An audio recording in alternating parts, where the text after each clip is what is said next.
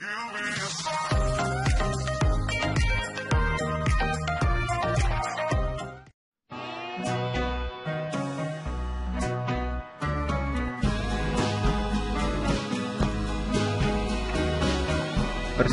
melawan PSM Makassar jam 15.30 live Indosiar.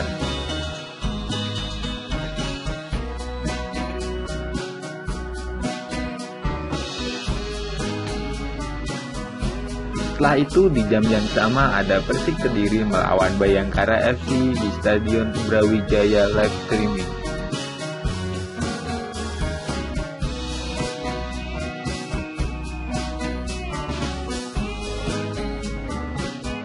Di malamnya ada Barito Putra yang akan melawan tim Bali United di Stadion Tema Leman Live Indosiar.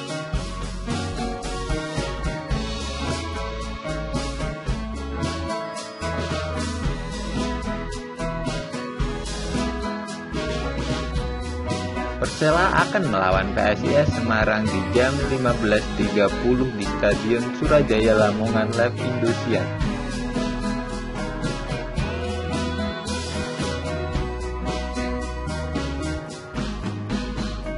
Di jam yang sama ada Borneo FC yang akan melawan Persipura Jayapura jam 15.30 di Stadion Sendiri Samarinda live streaming.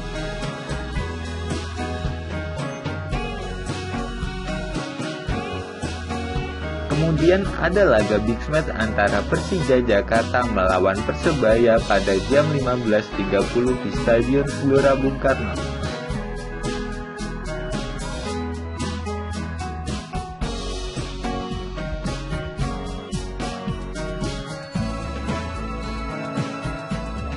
Pada jam 15.30 ada PSS Sleman yang akan melawan Persikabo Kabupaten Bogor di Stadion Maguwarjo dan disiarkan langsung oleh Indosiar.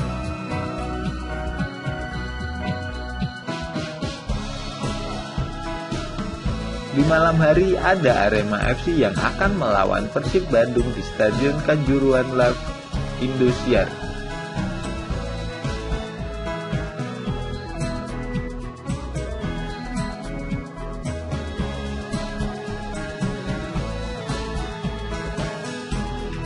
Di laga terakhir pekan kedua, ada Madura United yang akan melawan Persiraja Banda Aceh di Stadion Ratu Pamalingan jam 15.30 live Indosiar.